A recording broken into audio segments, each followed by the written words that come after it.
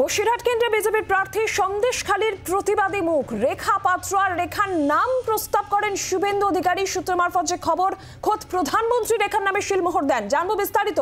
রাজীব চক্রবর্তী রয়েছেন টেলিফোন লাইনে। রাজীব, উনিশ জনের প্রার্থী তালিকায় রেখা পাত্র অত্যন্ত চমক একটা সন্দেশখালীর প্রতিবাদী মুখ, যেখানে প্রধানমন্ত্রী নিজে শিলমোহর দিয়েছেন এই নামে। নাম প্রস্তাব শুভেন্দু অধিকারী। একটু বিস্তারিত বলো, কি জানা যাচ্ছে আর? সন্দেশখালীর যে প্রতিবাদী মুখ, তাকে প্রার্থী করা হয়েছে এবং যে সূত্রের মাধ্যমে খবর আসছে যে রেখা পাত্রের নামটি শুভেন্দু অধিকারী গতকাল যখন কেন্দ্রীয় নির্বাচন কমিটি, নির্বাচন কমিটির বৈঠক হয়, তিনি ভিডিও কনফারেন্সে ছিলেন এবং তিনি এই বসিরহাট কেন্দ্রে রেখা পাত্রের নাম তিনি প্রস্তাব করেন এবং সঙ্গে সঙ্গে প্রধানমন্ত্রী নরেন্দ্র মোদী সেই প্রস্তাব গ্রহণ করেন এবং তিনি সম্মতি জানান। তিনি বলেন যে এই মুহূর্তে বাংলায় অত্যন্ত বড় বিষয় সন্দেশখালী এবং শুধু বাংলা নয়, সারা দেশের জন্য সন্দেশখালী একটা নাম হয়ে উঠেছে এবং সেখানে যেভাবে প্রতিবাদ হয়েছে, সেখান থেকে একজন প্রতিবাদী মুখ যদি প্রার্থী হন, সেক্ষেত্রে খুব ভালো হবে দলের জন্য এবং বাংলায় জয়ের লক্ষ্যে বিজেপির যে লড়াই, সেই লড়াইয়েও সুবিধা হবে। এক্ষেত্রে একটা বিষয় স্পষ্ট যে সন্দেশখালীকে বিজেপি তথা প্রধানমন্ত্রী নরেন্দ্র মোদী কতটা গুরুত্ব দিচ্ছেন? দেখা গেল যে সন্দেশখালী নিয়ে বাংলা তো বটেই, সারা দেশেও বিজেপি কিন্তু প্রচারের আলোয় নিয়ে এসছে সন্দেশখালীকে এবং তারা কিন্তু প্রধানমন্ত্রী নিজে গিয়ে সন্দেশখালীর যারা প্রতিবাদী মহিলা, যারা নির্যাতিতা মহিলা, তাদের সঙ্গে কথা বলেছেন। আলাদা করে তিনি কথা বলেছেন এবং তারপরে তিনি তাদের সঙ্গে কথা বলার পরে আশ্বাস দিয়েছেন এবং পুরো ঘটনাটি তিনি কিন্তু বিভিন্ন সময়ে উল্লেখ করেছেন। দেখা গেল যে সন্দেশখালীর যারা প্রতিবাদী মহিলারা ছিলেন, অনেকেই প্রতিবাদী ছিলেন। কিন্তু এই রেখা পাত্রের নামটি উল্লেখযোগ্যভাবে খুবই গুরুত্বপূর্ণ, তার কারণ তিনি অগ্রণী ভূমিকা পালন করেছেন। আর সেইখান থেকেই রেখা পাত্রকে প্রার্থী করার চিন্তা ভাবনা বিজেপির, বিশেষত শুভেন্দু অধিকারী তিনি এই নামটি প্রস্তাব করেন।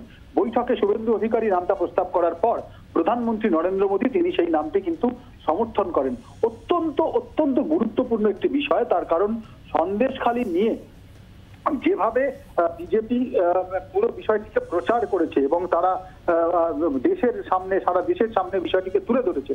বাংলার সন্দেশখালীর ঘটনা একদিকে যেমন শাসক দলকে অনেকটাই অস্বস্তিতে ফেলেছে উল্টো দিকে প্রধান বিরোধী দল বিজেপি তারা কিন্তু সেই বিষয়টিকে সন্দেশখালীর ঘটনাকে সামনে রেখে তারা যে রাজনৈতিক একটা ইস্যু তৈরি করেছে। রাজীব তুমি আমাদের সঙ্গে থাকো।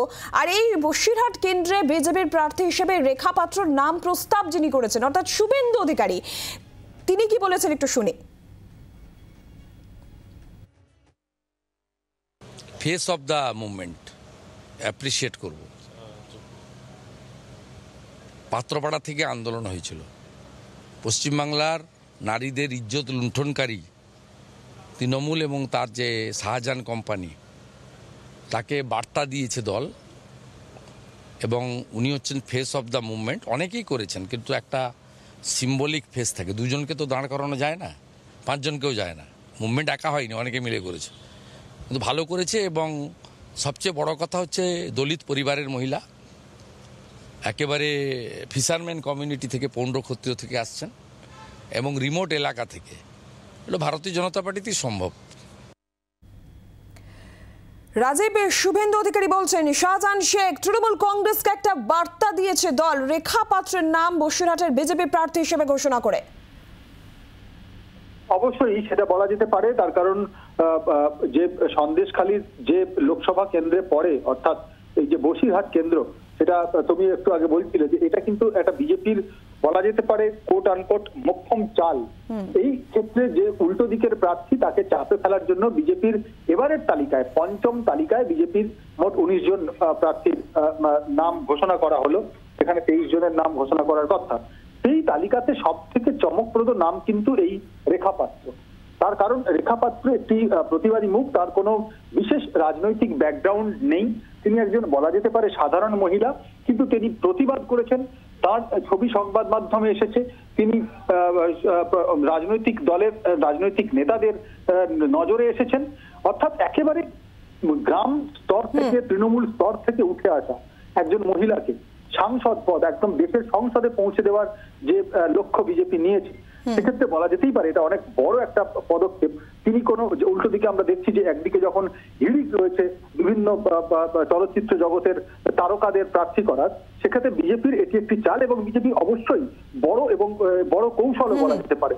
আর এই কৌশলে বিজেপি কতটা সফল হবে সেটা পরের কথা কিন্তু এই প্রচারটা শুধুমাত্র এই বসিরহাট বা সন্দেশখালী নয় সমগ্র বাংলা জুড়ে কিন্তু বিজেপি সন্দেশখালীর ঘটনা প্রচার করবে এবং সেক্ষেত্রে এই সেটা এই উনিশ জনের প্রার্থী তালিকা একটা অত্যন্ত উল্লেখযোগ্য নাম এবং বড় চমকও বলা যায়। আপাতত ধন্যবাদ রাজীব তোমাকে। আর এই রেখা পাত্র নিয়ে অমিত মালব্য টুইটও করেছেন এক্স স্যান্ডেলে। রেখা পাত্রকে বসিরহাট কেন্দ্রের প্রার্থী করেছে বিজেপি। রেখা পাত্র সন্দেশখালীর একজন আক্রান্ত যার উপর শাহজাহান বাহিনী অনেক অত্যাচার করেছে এক্সে জানিয়েছেন অমিত মালব্য। আর রেখা পাত্র তার কি প্রতিক্রিয়া? শোনাবো আপনাদের।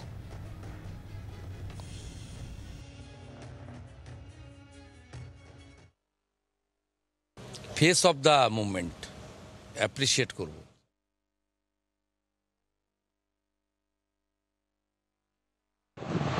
দেখুন আমি প্রথমত বলব মাননীয় নরেন্দ্র মোদীজিকে ওনাকে অসংখ্য ধন্যবাদ। উনি আমার মতো একজন গ্রামের গ্রাম্য মহিলাকে প্রার্থী করার জন্য। আর সেই সন্দেশখালী বসিরহাট জেলার মা বোনেদের পাশে দাঁড়ানোর জন্য আমি সর্বদাই ওই মা বোনেদের পাশে থাকব। আর ওনাদের হয়ে আমি প্রতিবাদ করব। বাংলার আওয়াজ, বাঙালির আবেগ। জি, চব্বিশ ঘণ্টা।